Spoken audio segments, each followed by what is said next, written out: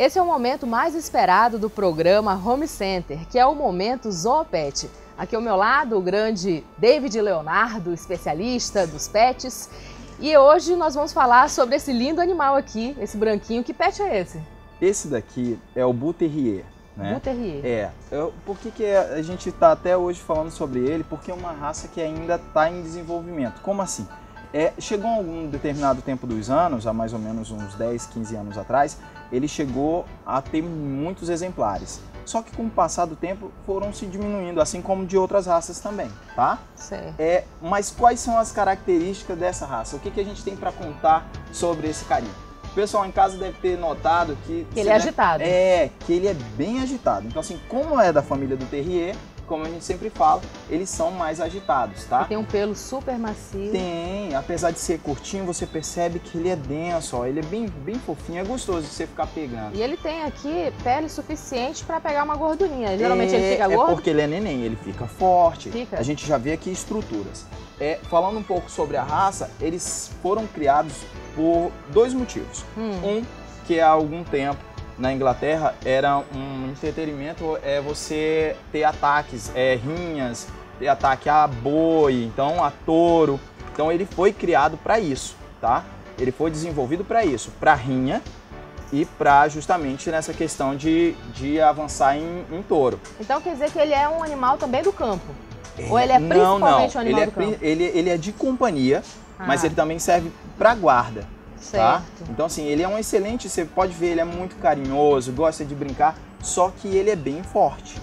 Né? Você vê a estrutura dele, aí as pessoas em casa, mas eu já vi algo parecido. Você pode ter visto mesmo em desenho, né? Um desenho que passava tinha o, o Shark, que era dessa raça. Eu lembro. É aquele dos, do porquinho, também tinha um dessa raça.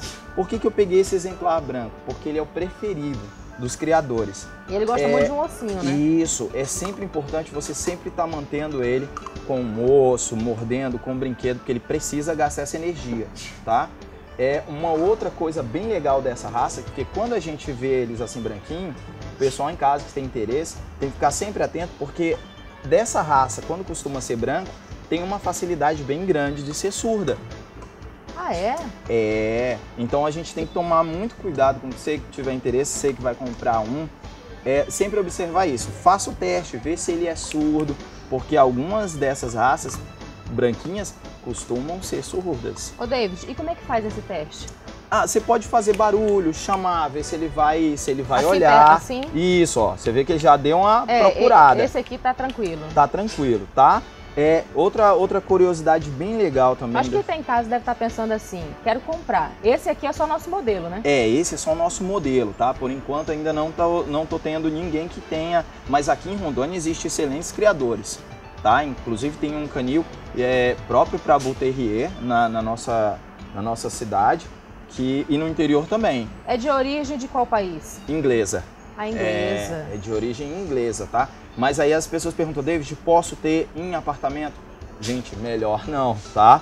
Porque ele tem muita energia. Ele é, é muito, muito, muito ele elétrico. Ele tem que ter espaço para correr. Ele precisa ter espaço para correr. Você que tem interesse tem que ter tempo, precisa ter atividade física com eles, porque eles são bem elétricos. Inclusive, eu até tenho no meu Face, tem um vídeo dele deitado num sofá com uma, uma criancinha de 2 a 3 anos, que fica dormindo, fazendo carinho. Então, com a gente, com os seres humanos, eles não, não vejo problema.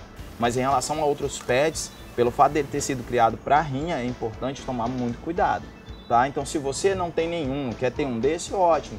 Que é muito, muito, muito bom. Essa raça é fantástica.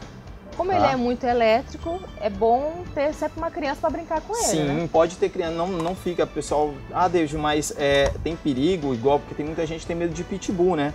E o Bull Terrier também tem um, tem um sangue dos Terriers, então assim, mas pode ficar tranquilo. Em relação a Bull Terrier, você pode ficar tranquilo com outras pessoas. O problema mesmo só são outros pets, que aí precisa fazer uma apresentação, eles terem um costume para poder não ter problema. E sobre a saúde desse animal? Pois é, é a gente, igual eu falei, essa questão do, da surdez é importante. E uma deficiência que eles têm, apesar de eles serem muito fortes, eles têm problemas é, no rins. Então, sempre que você for comprar, comprar de um, de um canil que seja especializado, que vai te informar direitinho e sempre estar tá atento a isso. Qualquer coisa que, se você tem dessa raça, viu alguma diferença, procure o seu veterinário o mais rápido, tá bom? Nós ficamos aqui na, a Zoopet fica aqui na Carlos Gomes com Elias Goraeb, número 3223 4010. Qualquer coisa, é só ligar. David, então um abraço especial de hoje é a dona, né, é. É, Andressa, muito obrigado pelo seu garotão estar tá aqui hoje com a gente, viu? Servindo como, como um modelo. Obrigado. Então, gente, esse foi o Momento Zoopet. Você não pode perder a oportunidade de vir visitar essa loja que fica aqui na Avenida Carlos Gomes, bem próximo da Jorge Teixeira.